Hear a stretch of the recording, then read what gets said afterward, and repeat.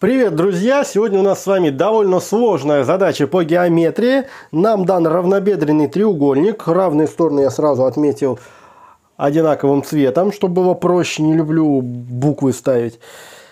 И углы при основании равны 30 градусов. При этом от э, одного угла отложен отрезочек длиной 1, от другого угла отложен отрезочек длиной 2 а то, что между этими отрезочками нам как раз нужно найти. И этот отрезок искомый ограничен углом 60 градусов. Ставьте на паузу, думайте, как можно решить эту задачу. А я вам сейчас предложу свой вариант решения. Но давайте начнем с того, что поймем, а чему равен вот этот вот угол.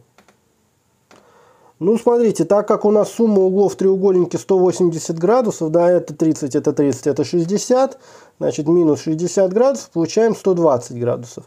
Стал быть, вот этот угол 120 градусов.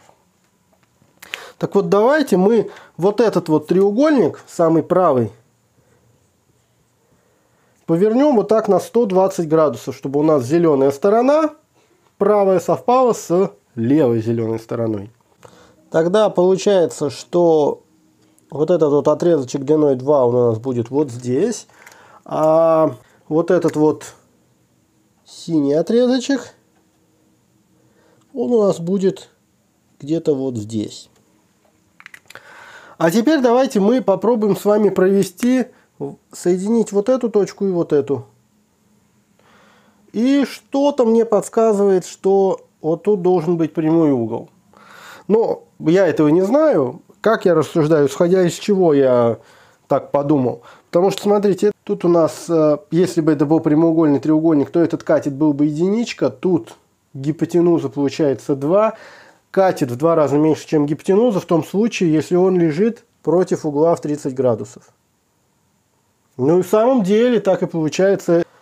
Вот этот уголочек 30, вот этот был 30, значит этот тоже 30. Значит в сумме они дают 60 градусов. Но если это 60, этот прямой, тогда это 30, и все получается. Катет равен половине гипотенузы. Ну а стало быть, вот этот вот э, треугольник действительно прямоугольный. А раз он прямоугольный, мы знаем один катет и гипотенузу, несложно найти, что вот этот второй катет будет равен корню из трех по теореме Пифагора. Но нам с вами нужно найти x а не вот этот катет. Поэтому давайте попытаемся доказать, что вот этот вот катет, который мы с вами только что отыскали, он на самом деле равен нашему искомому отрезочку. У меня тут, конечно, немножечко не в масштабе, но тем не менее. Смотрите, что у нас получается. Если рассматривать вот этот вот треугольник и вот этот вот треугольник, э, у него синяя сторона и синяя равны по построению так, так как мы поворачивали наш треугольник. Вот эта вот сторона является общей и для этого треугольника, и для этого треугольника. А теперь давайте разбираться с углами.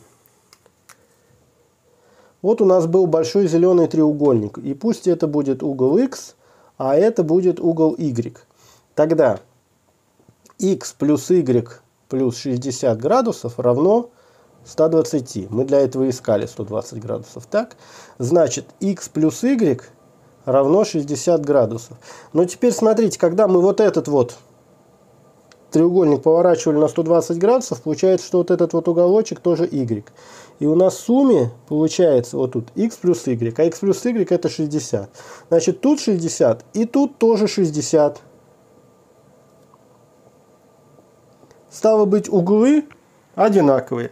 А значит, наши два треугольника, давайте я их заштрихую зеленым и синим. Значит, наши вот эти вот треугольнички, два, они равны по двум сторонам, по синей и общей, и углу между ними 60 градусов. А значит, и вот эти вот стороны, которые мы предполагали, выделили их красным, они тоже равны ну и коли эту мы нашли корень из трех, значит и наш искомый отрезочек тоже равен корню из трех. И вот он, ответ готов. Если все было понятно, ставьте лайк, подписывайтесь на этот канал, подписывайтесь на мой телеграм. Там есть все, что выходит на Дзене, на Ютубе и даже немножечко больше. Ничего точно не пропустите. Спасибо за вашу любовь к геометрии, друзья. Пишите в комментариях, каким способом решали вы. Ну и на этом все. Пока. До новых интересных задач.